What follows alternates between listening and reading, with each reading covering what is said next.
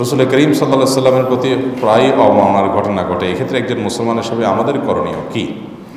একজন মুসলমান হিসাবে নবী করিম সাল্লা সাল্লামের প্রতি অবমাননা, তাকে অবমাননা করা সম্ভব নয়, তাকে অপমান করা সম্ভব নয়। তারপরও যদি কেউ এই হীন চেষ্টা করে, ঘৃণ্য চেষ্টা করে, একজন ইমানদার হিসাবে সর্বপ্রথম আমাদের যে করণীয় হয় তা হলো নিজের সাধ্য অনুযায়ী এটার প্রতিবাদ করা।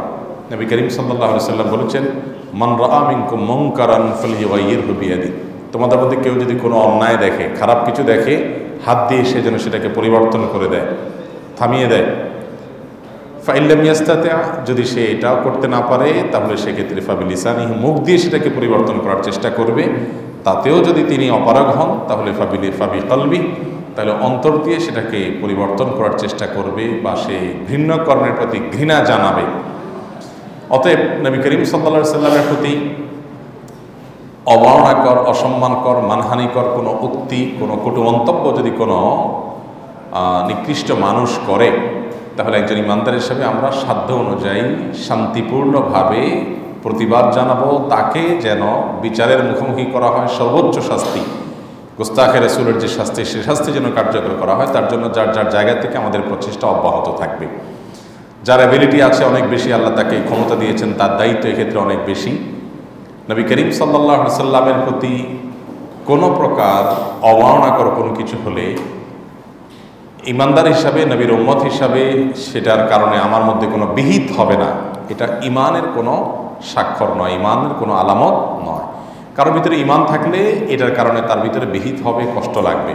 আমার বাবাকে, আমার মাকে গালমন্দ করলে আমার ভিতরে পরিবর্তন হবে ভাবলেশ হবে। সেখানে আমার নবী করিম সাল্লা সাল্লামের প্রতি এই কটুক্তি বা বাজে মন্তব্য বা অমাননার অপচেষ্টা, এগুলোর ফলশ্রুতিতে আমি আমার জায়গা থেকে অন্তত নিন্দা এবং প্রতিবাদ জানাব। এটি আমাদের করতে হবে। আমরা আমাদের জায়গা থেকে আমরা এদেশের নাগরিক হিসাবে এদেশে রাষ্ট্রীয়ভাবে বা সরকারিভাবে যেন এই ধরনের ঘৃণ্য কর্মকাণ্ডের প্রতিবাদ অন্তত জানানো হয়। নিন্দা অন্তত জ্ঞাপন করা হয়। অফিসিয়ালি যেন অন্তত ঘোষণা হয়। এটুকুর জন্য আমরা অবশ্যই যার যার জায়গা থেকে জোর দাবি তুলব। বিশেষ করে সম্প্রতি ভারতে ঘটনা যাওয়া যে আপনার ঘৃণ্য কর্ম নবী করিম সাল্লাহ সাল্লাম এবং তার সহধর্মিনী আয়সাদ আল্লাহ তালাহাকে ঘিরে যে নিকৃষ্ট উক্তি করা হয়েছে, সেগুলোর জন্য গোটা বিশ্বে মানুষ ফুটে, ফুসে উঠেছে। আরও বিশ্বের মানুষ প্রতিবাদ জানিয়েছে। এমনকি আমাদের পার্শ্ববর্তী দেশ, সে দেশ ভারতেরই মুখ্যমন্ত্রী আমাদের পাশেরই আপনার রাজ্যের মমতা বন্দ্যোপাধ্যায় পর্যন্ত প্রতিবাদ করেছেন আনন্দবাজার উঠে এসেছে।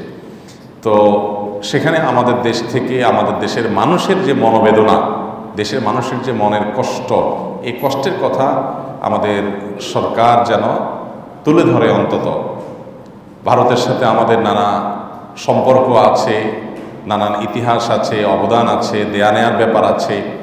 সেসব আলোচনা আপন জায়গা ঠিক থাকার পরও এদেশের মানুষ কষ্ট পেয়েছে এই ঘৃণ্য কর্মের কাণ্ডের কারণে। অন্তত এই বার্তা তাদের কাছে যাওয়া উচিত, প্রতিবাদ, নিন্দা, এটা অন্তত হওয়া উচিত। এটি শত শত লক্ষ লক্ষ কোটি কোটি মুসলমানদের দাবি। তো এই দাবিগুলো আমরা আমাদের মতো করে যার যার জায়গা থেকে তুলে ধরব, প্রকাশ করব, এটি আমাদের কর্তব্যের অংশ।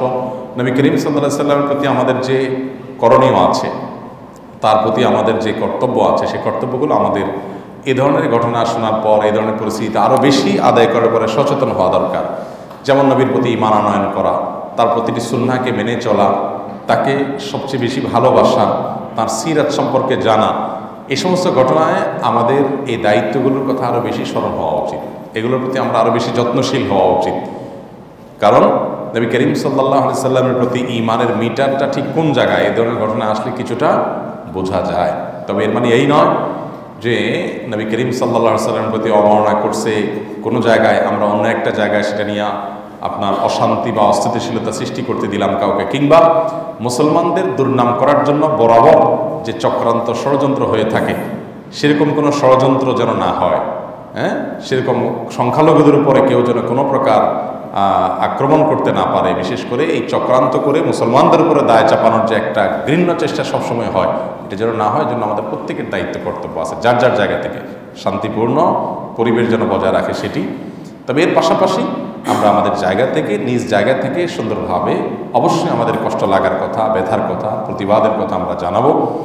আর নবী করিম সাল্লাহ আলি সাল্লামের ভালোবাসার স্বার্থে যে যতটুকু অন্যায় করেছে, তার এবং তার সমর্থক, তার গোষ্ঠী, তাদের প্রতি আমাদের যতটুকু সম্ভব আমাদের প্রতিবাদ এবং যতটুকু সম্ভব তাদের সাথে সম্পর্ক, যতটুকু ছিন্ন করে করা সম্ভব আমাদের করব আরও বিশ্বগুলো তাদের পণ্য বর্জন করার ডাক দিয়েছে এবং ঘরে ঘরে জনে জনে সেটা তারা বাস্তবায়ন করছে।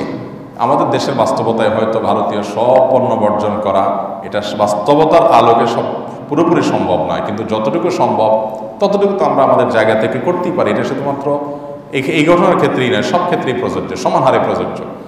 এটা ওয়ালা এবং বাড়ার দাবি। বিধায় সেই জায়গা থেকে আমরা আমাদের দায়িত্ব পালন করব। আর আবারও বলছি, নবী সাল্লাহ সাল্লামের প্রতি আমাদের যে ন্যূনতম দায়িত্ব সেটা পালন করতে হবে। নবী সাল্লাহ সাল্লামের প্রতি অমানা হয়েছে এর জন্য প্রতিবাদ করলাম, কিন্তু তার সুন্নার অনুসরণ করলাম না, তার হাদিস অনুযায়ী মানলাম না, চললাম না। তার প্রতি ভালোবাসা দরকার সবচেয়ে বেশি, সেটা করলাম না। তার সিরাত সম্পর্কে জানলাম না। তাহলে এটা কোনো নবী প্রেমের মূল স্বাক্ষর বা প্রমাণ হতে পারে বিধায় ওই বিষয়টি আমাদেরকে মাথায় রেখে আগাতে হবে। এরপর প্রশ্ন হলো, যেই দিনের জন্ম, ওই দিনে বিবাহ হলে কি কিছু হয়? যেই দিনের জন্ম, একই দিনে যদি বিবাহ হয়, কিছু হয় কি না? কি হবে? একটা ভালো ঘটনা ঘটবে। জন্ম হয়েছে, এটা একটা ভালো ঘটনা। আবার একই দিনে আরেকটি ঘটনার জন্ম হয়েছে, সেটা আরেকটা ভালো ঘটনা। অতএব ভালো ঘটনার আপনার যত বেশি জন্মাবে, যত বেশি ঘটবে, ততই ভালো জিনিস। অনেক রকমের কুসংস্কার আমাদের দেশে আছে। এর মধ্যে এটাও একটা যে যে দিনে জন্ম হয়, ওই দিনে বিয়ে করা যায় না। যে তারিখে জন্ম হয়েছে, যে বারে জন্ম হয়েছে, ওই বারে এটা করা যাবে না। কেন করা যাবে না? ওই দিনে তো বিয়ে পারলে আরও কয়েকটা করা গেলে সেটাও করা উচিত। কারণ হলো, এদিন আমার জন্ম হয়েছে, এটা আনন্দের দিন। একই দিনে আরেকটা আনন্দ হলো আরও ভালো, আলহামদুলিল্লাহ। এদিনে বিয়ে করলে কোনো অসুবিধা নেই। এগুলোকে অসুবিধা মনে করাটা বরং কুসংস্কার এবং মূর্খতা। নতুন বিয়ের পর মেয়ে বাড়ি থেকে ছেলের বাড়িতে আম কাঁঠাল, বকরি ইত্যাদি পাঠানোর প্রথা কি শরীয়ত সম্মত? দুইটা মৌসুম আমাদের সামনে চলে আসছে। এক হলো আম কাঁঠালের মৌসুম চলমান, আরেকটা হলো বকরি এসে যাচ্ছে। দুইটাই প্রশ্নে মাসাল্লাহ উঠে আসছে। এই মৌসুমগুলোতে আমাদের সমাজে কিছু ছোট লোক চেনা যায়। এই ছোট লোকদের কাজ হলো আম কাঁঠালের মৌসুমে আম কাঁঠাল ভিক্ষা করে, আম কাঁঠালের ডাকাতি করে। আর কোরবানের সময় আসলে গরু আর ছাগল, গরুর ঠ্যাং, গরুর কল্লা এগুলার ভিক্ষা করে। আমরা এর আগে বারবার ঘোষণা করেছি, যাদের ইফতারের অভাব আছে হ্যাঁ ছেলের শ্বশুরবাড়ি থেকে বা ছেলে নিজের শ্বশুরবাড়ি থেকে বৌমাকে খোঁচায় তার বাপের বাড়ি থেকে ইফতারের দাবি করার বিপরীতে পরিবর্তে যে কাজটি করতে পারেন সেটা হলো আমাদের আসন্ন ফাউন্ডেশনে দরখাস্ত করতে পারেন, আমরা আপনাদেরকে ইফতার দেওয়ার ব্যবস্থা করব ইনশাআল্লাহ। এটা আমরা এর আগে বারবার ঘোষণা দিয়েছি। এমনকি যদি আপনার আম কাঁঠাল খাওয়ার মতো টাকা না থাকে, এত গরিব মানুষ হন, তো ছেলের শ্বশুরবাড়ির থেকে আপনি আদায় করার এই ছোট লোকই না করে আত্মীয় স্বজনের কাছে ভিক্ষা মানুষ চায় নাকি? ভিক্ষা চায় মানুষ? অপরিচিত মানুষের কাছে। আপনি ছেলের শ্বশুরবাড়ির কাছ থেকে এটা দাবি করলেন মানে কি? ব্যয়ের বাড়ির থেকে ভিক্ষা চাইলেন, এটা তো লজ্জার কথা। এই ভিক্ষাটা আপনি বৌমার কাছে না চাই আপনি আমাদের কাছে চান। আমরা কাউকে জানাব না, গোপনে আপনাকে দিয়ে দেবো ইনশাআল্লাহ। বুঝতে পারছেন কথা? আপনার বকরি নাই, কোরবানি করার মতো আপনার একটা গোস্ত খাওয়া দরকার, আপনি আমাদের কাছে দরখাস্ত করেন, আমরা গোস্ত পৌঁছে দেবো ইনশাআল্লাহ আপনার কাছে। কিন্তু এই ছোটো লোকই করিয়েন না। যুবকদেরকে এই ব্যাপারে জাগতে হবে ইনশাআল্লাহ। কবর দিতে হবে দেশে যৌতুক প্রথা যৌতুক প্রথাকে কি দিতে হবে? কবর দিয়ে ফেলতে হবে। এটাকে অতীত করে ফেলতে হবে ইনশাআল্লাহ। চেয়ে ছোটো লোকই আর কিচ্ছু নেই। একটা মানুষ আস্ত মেয়ে দিয়ে দিয়েছে, তারপর আবার আপনার আম কাঁঠাল দিতে হবে সাথে। কেন রে বাবা? আম কাঁঠাল তো আপনি দিবেন শ্বশুরবাড়িতে নিয়ে নিয়ে। কারণ আপনাদের মেয়েটা দিয়ে দিছে না হারে এর দাম তো আমি পরিশোধ করতে পারব না, অন্তত কিছু আম কাঁঠাল খান।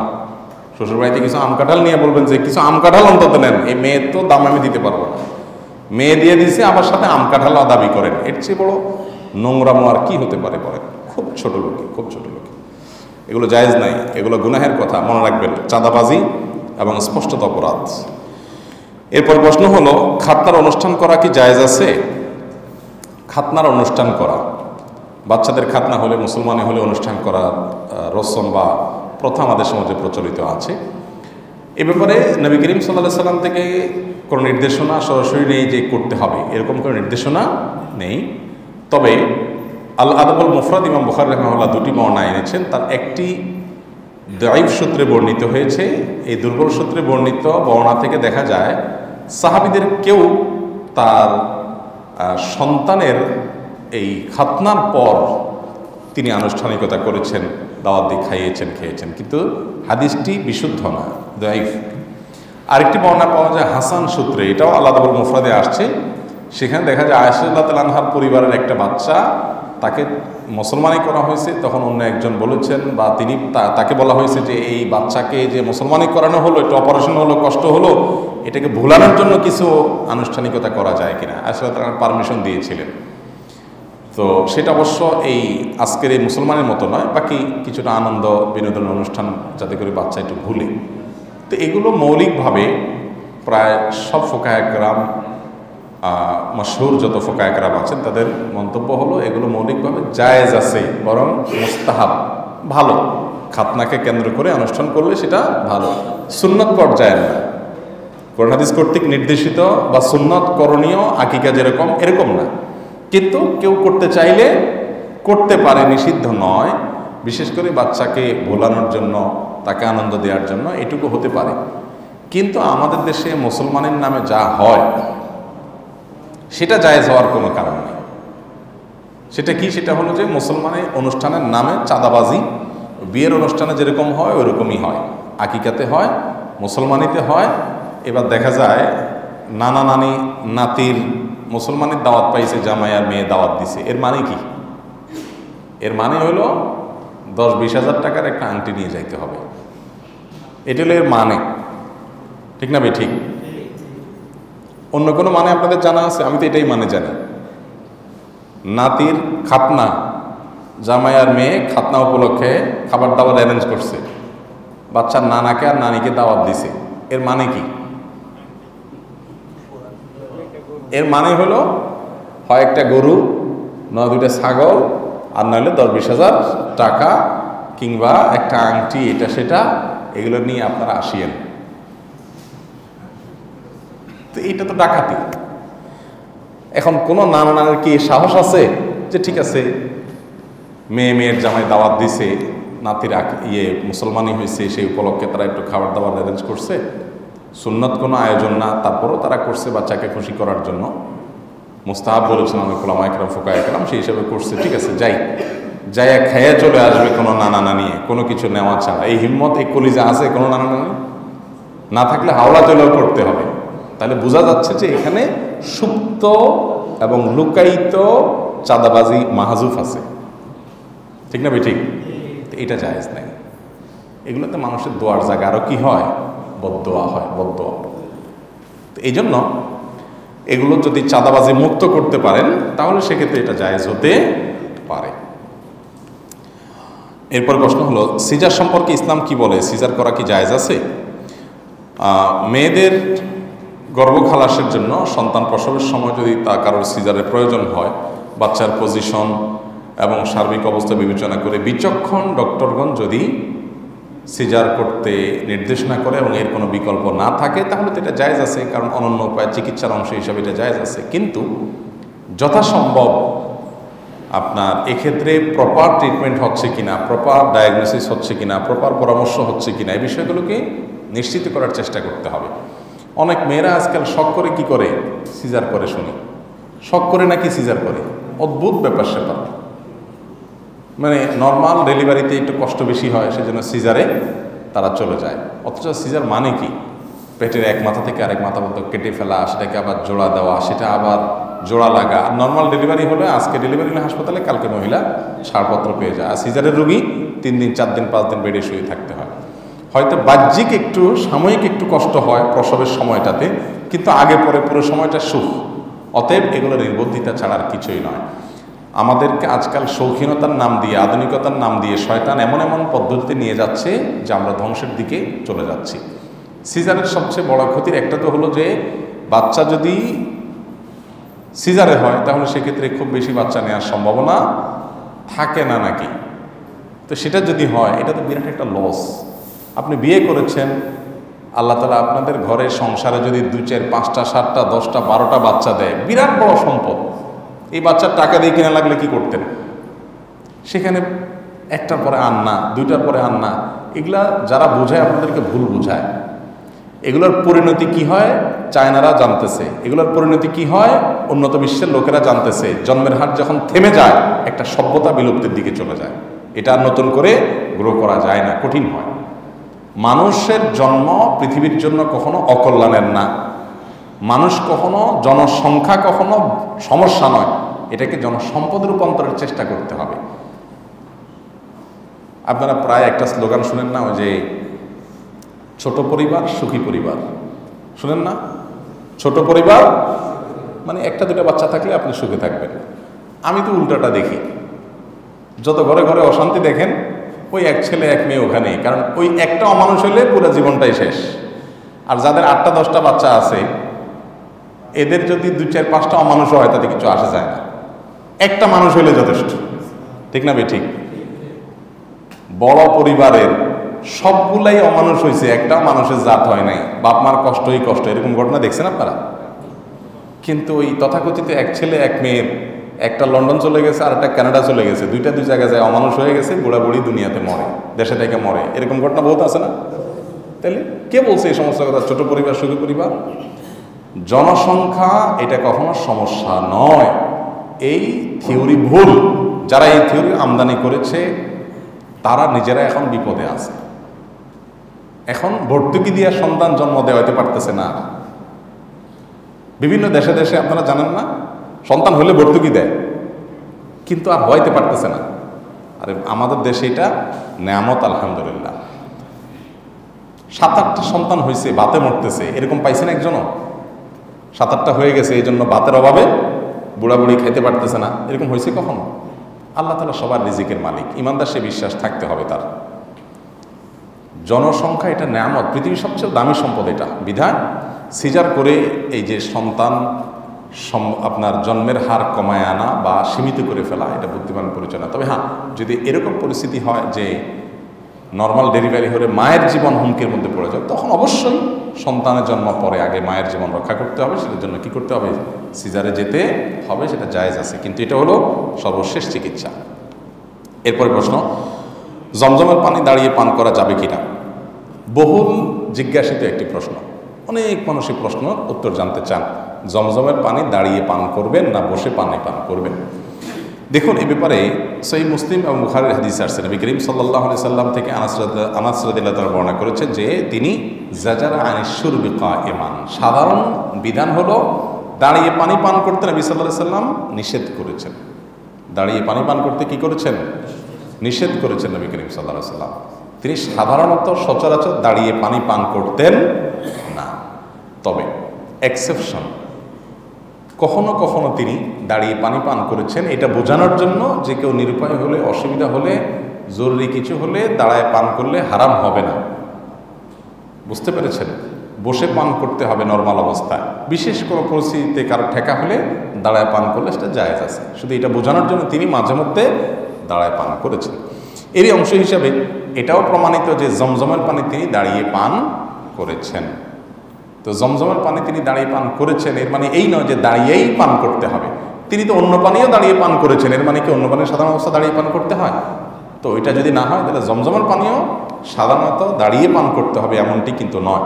আমাদের দেশে অনেকে জমজমের পানি দিলে ওইটা নিয়ে উনি দাঁড়ায় যায়। বসা থেকে দাঁড়ায় যায়। কারণ জমজম পান করতে হলে কী করতে হয়? উনি মনে করেন দাঁড়ায় পান করতে হয়, না? এরকম কোনো হাদিস নাই যে নবী করিম সাল্লাহ সাল্লাম বসা থেকে দাঁড়ায় গেছেন জমজমের পানি পান করার জন্য।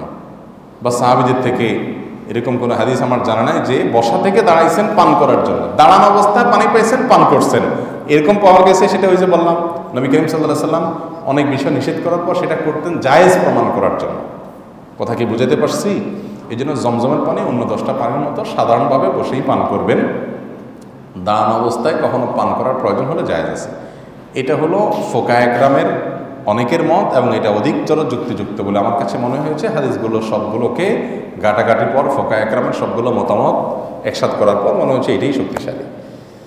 তবে অনেক ফকিগণ, অনেক ওলামা একরাম দাঁড়িয়ে জমজমের পানি দাঁড়িয়ে পান করাকে মুস্তাহাব উত্তম বলেছেন। ওই জন্য বিসমুল্লাহ একবার করেছেন সেজন্য। তার থেকে করেছেন বলে প্রমাণিত আছে। ওই হাদিসটার কারণে তারা জমজম পানি দাঁড়ায় পান করাটাকে মোস্তাহাব বলেছেন ফোকা একরাম। অতএব কেউ ওই ফোকা একরামের মতের উপর আমল করলে তার সে আমলকে গুনাহ হয়েছে, বেদাত হয়েছে, এনকার করা যাবে না। বাকি সাধারণ পানের মতো এই পানিটাও সাধারণভাবে পান করাটাই অধিকতর যুক্তিযুক্ত বলে আমার কাছে মনে হয়েছে। জি।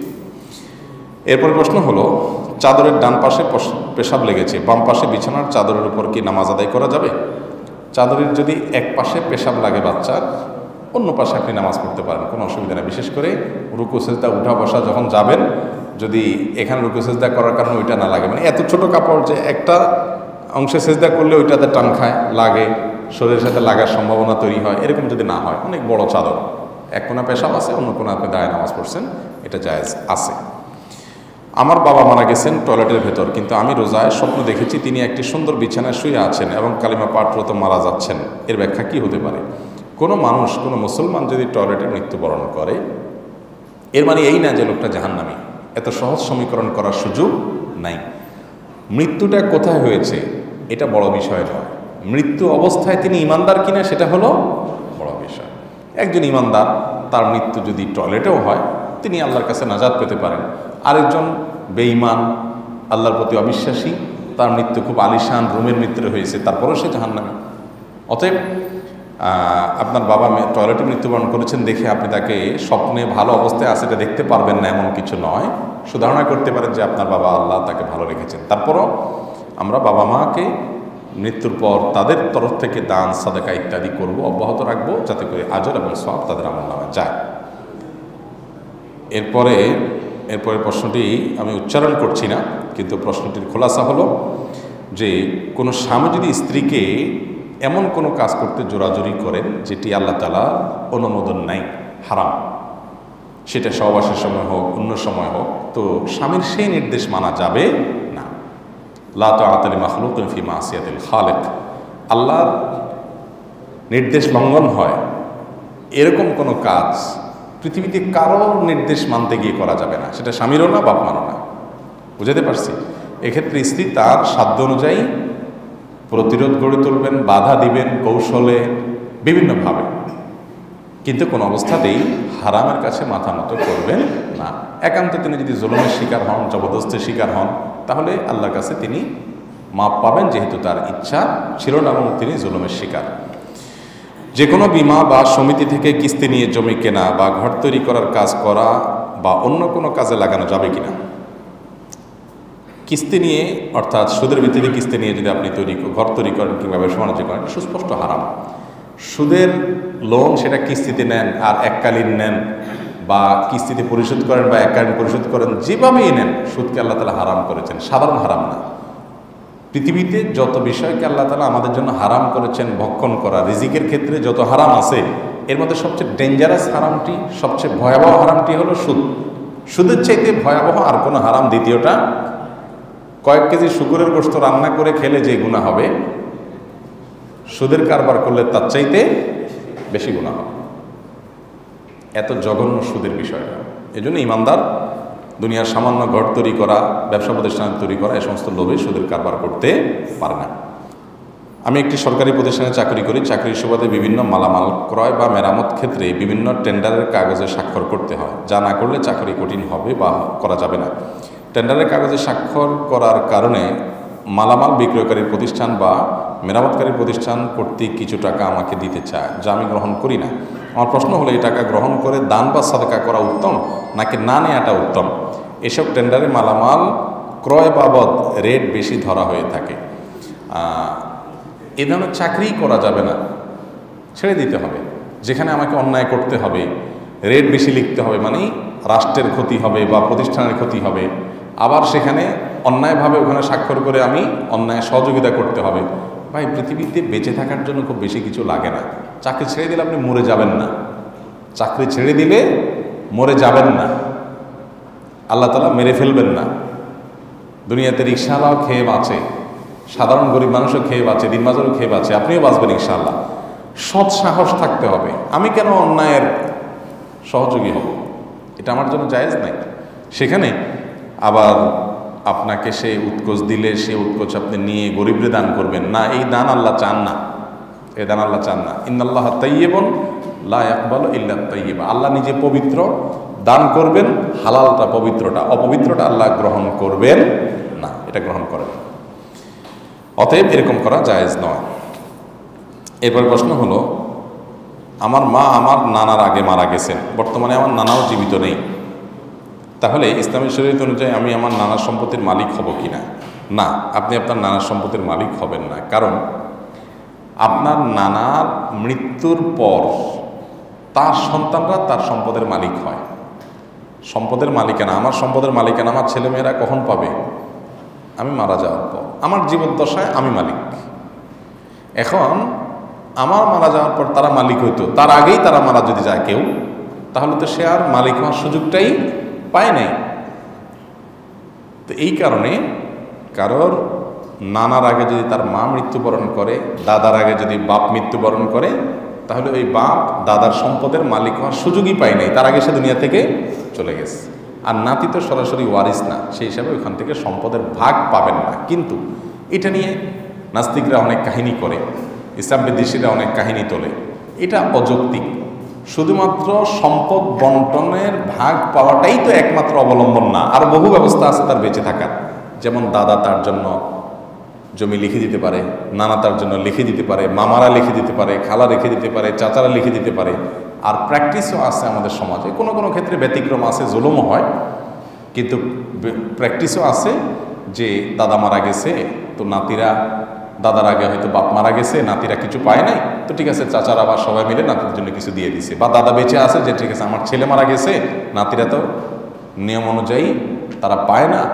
তো আমি তাদেরকে দয়া করে এটা লিখে দিলাম। এটা তাদের জন্য জায়েজ আছে। ওয়ারিসদেরকে দেওয়া জায়েজ নাই, কিন্তু নাতিদেরকে দেওয়া জায়েজ আছে। আল্লাহ তালা অন্য রাস্তা খুলে রেখেছেন। শুধু সেটাই নয়, নাতিদের ভরণ পোষণ, তাদের খরচ খরচা, দায় দায়িত্ব, পুরাটা দাদাকে বহন করতে হবে বাবার অগোচরে। তাহলে শরীয়ত তার জন্য অনেকগুলো বিকল্প রেখেছে। এটা নিয়ে শরীয়তের সমালোচনা করাটা মূর্খতা ছাড়া আর কিছুই না। আল্লাহ তালা আমাদেরকে বুঝাবেন আমল করার তৌফিক দান করুন।